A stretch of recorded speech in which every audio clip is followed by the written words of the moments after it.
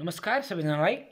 आज हामी bachelor in civil engineering र डिप्लोमा इन सिभिल इन्जिनियरिङको विद्यार्थीलाई मेल खाने भनेको त्यो डिप्लोमाले पनि पढ्ने ब्याचलरले पनि पढ्ने एउटा टपिकमा।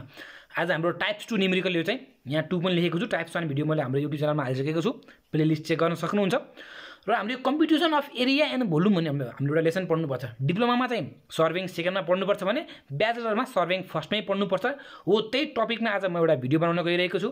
कृपया भिडियो अन्तिमसम्म हेरिदिनु होला र भिडियो सुरु गर्नभन्दा अगाडि यति आज हाम्रो च्यानल प्रशान्त वाइटीमा कोही नयाँ हुनुहुन्छ भने कृपया च्यानललाई सब्सक्राइब गरी नजिकैको बेलायकन दबाउन नबिर्सनु होला साथै हामीसँग सोसियल मिडियामा जोडिन चाहनुहुन्छ भने डिस्क्रिप्सन बक्समा लिङ्क राखिएको छ फेसबुक इन्स्टाग्रामको। त्यहाँबाट हामीलाई फलो गरेर नजानेका प्रश्नहरू सोध्न पनि सक्नुहुन्छ। र हजुरलाई मैले टाइप्स वानको भिडियो बनाउने क्रममा हजुरलाई मैले भनिसकेको चाहिँ टाइप्स टूको न्युमेरिकल चाहिँ हाम्रो चाहिँ के हुन्छ? इभनवाला आउँछ। हुन्छ अड नभएको कि इभन भएको फर्ममा आउँछ। त्यो चाहिँ हेर्नु होला मैले हजुरलाई भनेको थियो। टाइप्स वान भिडियो हजुरले हेर्नुभएको छ भने। र सिम्सन रुल कस्तो केसमा मात्रै परेको हुन्छ? कस्तो केसमा परेको हुन सक्दैन सिम्सन रुल भनेर हजुरलाई त्यो बेला पनि मैले भनेको थिएँ। अब यहाँ हेरौँ त। अब a series of offsets were taken from a chain line to a cup boundary line at an interval of ten metre भनेको इन्टरभल हाम्रो टेन मिटर दिएको छ। इन द फलोइङ अर्डर भनेको जिरोबाट सुरु दिएको छ। जिरो फेरि जिरोलाई नै गर्नु पऱ्यो फेरि। यो त जिरो हो यसलाई त नगर्ने होइन। जिरोलाई नै गर्नु पऱ्यो वान टू भनेको odd even odd even odd even odd even हामीले लास्ट टाइम गरेको न्युमेरिकल चाहिँ सिप्सन रुलको अडमा थियो। यसपालि हामीले गर्न गइरहेको केमा छ? इभनमा छ। Compute the area by Simpson rule भनेको सिम्सन रुलबाट मात्रै एरिया निकाल्नु भनेको छ। लास्ट टाइम्सको हाम्रो भिडियोमा त ट्रापेजल पनि गरेको थियो हामीले। मिड ओर्डिनेट रुल पनि गरेका थियौँ। र सिम्सन पनि गरेका थियौँ। टाइप्स वानमा र अहिले टाइप्स टूमा चाहिँ हाम्रो सिम्सन मात्रै भनेको छ। सिप्सनबाट मात्रै हामी गर्छौँ। र हजुरलाई के लाग्छ त? सिप्सन रुल कस्तो केसमा परेको हुन्छ त? सिप्सन भन्ने व्यक्तिले चाहिँ एउटा यस्तो फर्मुला पत्ता लगाएको छ जुनमा चाहिँ हामीले यसलाई चाहिँ कर्ड मानेर गर्नुपर्ने हुन्छ। मैले अगाडि बनाएको भिडियो छ नि के अरे अगाडि मैले टुन टाइप्स वानमा बनाएको एउटा लाइन स्ट्रेट लाइनमा मैले त्यो मार्क गरेको छु। त्यो भनेको त्यही ट्रापेजरलाई पनि काम गर्ने सिप्सनलाई पनि काम गर्ने भनेर चाहिँ मैले त्यस्तो बनाएको हो। तर जेनरली सिप्सनले मात्रै के भन्छ भन्दाखेरि चाहिँ कर्मा यसले चाहिँ प्याराबोलिकको पनि के निकाल्छ? एरिया निकाल्छ। भनेको प्याराबोलिकको नि एरिया चाहिँ यसमा चाहिँ के हुन्छ? कन्सिडर हुन्छ। बुझ्नुभयो? अब हामीले यहाँ हेरौँ पहिला सानो पहिला थ्योरी लेख्नुपर्ने हुन्छ। गिभन अर्डिनेट इज इभन हामीले भनेअनुसार सिम्सन रुल भनेको केमा परेको हुन्छ? अडमा मात्रै परेको हुन्छ। तर अहिले त हाम्रो के भयो अर्डिनेट इभनमा छ हुन्छ? So we cannot apply the Simpson rule to the whole area भनेको होल एरियामा हामीले सिम्सन रुल लगाउन पाइँदैन अब। हो कि होइन? इभन भयो नि त। अड भएको भए चाहिँ सबैमा लगाउन मिल्थ्यो। तर अहिले हाम्रो इभन भएको कारणले गर्दाखेरि सिम्सन रुल चाहिँ सबै होल एरियामा त लगाउन मिलेन। So calculating the area up to the ordinate seven भने चाहिँ अहिले हाम्रो चाहिँ के छ।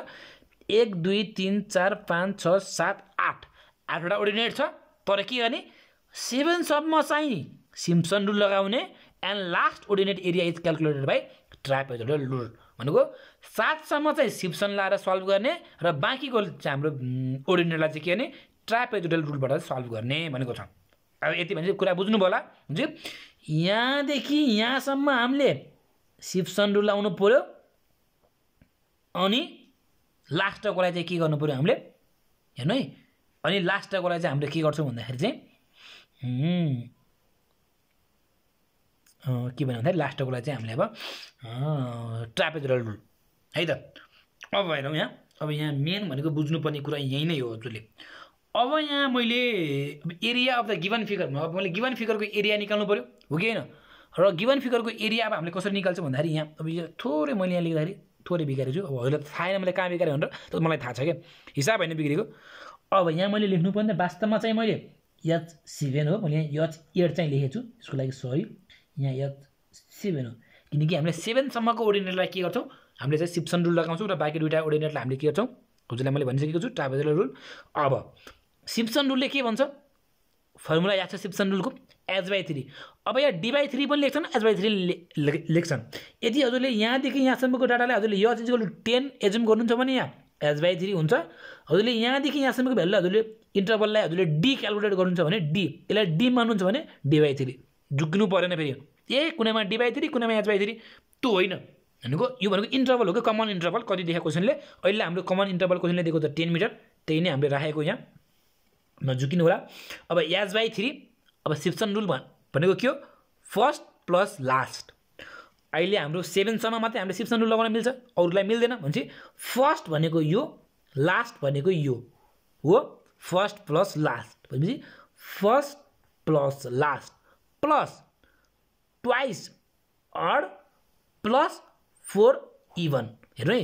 यस वान प्लस यस सेभेन भनेको यो फर्स्ट भ्यालु यो लास्ट भ्यालु ट्वाइस यो अड फोर्थ टाइम इभन कुरो बुझ्नुभयो H by three H one plus H say H seven odd भनेको एच थ्री हो। Three odd five odd seven लिन पाएन किनकि सेभेन पहिले आइसकेको छ। Two odd four odd six odd plus यति चाहिँ हाम्रो सिप्सन भयो। अब बाँकी भनेको के हो? ट्रापेजोडल रुल प्लस एरिया त जोड्नु पऱ्यो नि। प्लस अब ट्रापेजोडल रुलले के भन्छ? H by two H by three होइन। एच बाई टू ट्रापेजोडलले एच बाई टू अनि H seven H seven plus H eight यति हो फर्मुला हेर्नु है त? अब यो H H by three plus H one plus H seven plus twice H three H five plus fourth time H two H four H six plus H by two H seven H eight र यहाँबाट जुन हाम्रो value आउँछ त्यो value केबाट आयो? Simpson रुलबाट कति आयो एरिया? यति आयो। अब यो मैले हजुरलाई सिकाउन सकेँ। बुझ्नुभयो भने ठिकै छ बुझ्नु भएन भने फेरि पनि एकचोटि रिपिट गरेर भिडियो हेरिदिनु होला। र यति हजुरले मैले राम्रोसँग बुझेँ जस्तो लाग्छ भने कृपया हजुरको लागि यो क्वेसन चाहिँ एउटा होमवर्क मैले होमवर्क स्वरूप एउटा क्वेसन लिएर आएको छु।